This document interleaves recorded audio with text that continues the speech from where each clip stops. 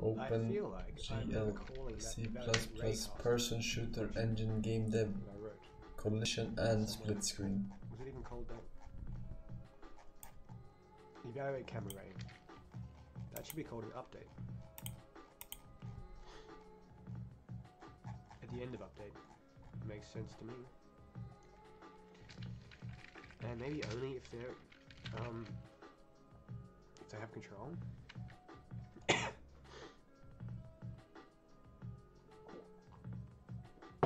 What's the point of checking what you're looking at if you can't do anything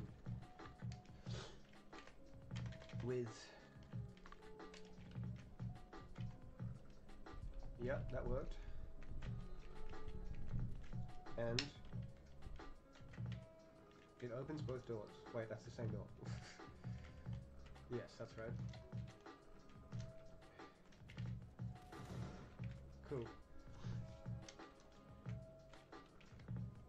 and what happens oh double point cloud that looks sick in my um old engine you couldn't do this sort of shit.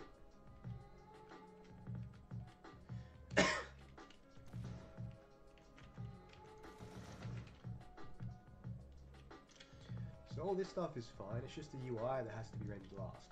And not like how I am. Because the UI has to be pixel perfect. So I'm talking about the crosshair and the text in the top left. Which is funny, it only gets drawn to player one.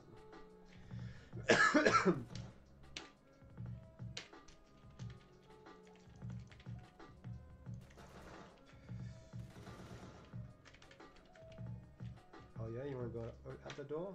Well, you can't. I'm not sure when I should call this a night. Because I can't go forever. And the stream's already how long? It's five hours. I think once I get player characters in there, that's that's an achievement, isn't it? If I have character models that look around, that would be pretty. I'm allowed to go to sleep after that.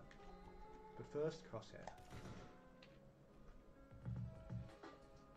Hours of work for Forsen to play it for 20 minutes and call it a little game. Hours of work. Try like months of work.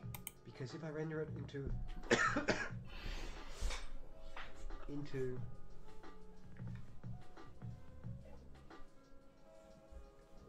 So hours. Yeah, but also seconds and minutes. Uh, fuckface.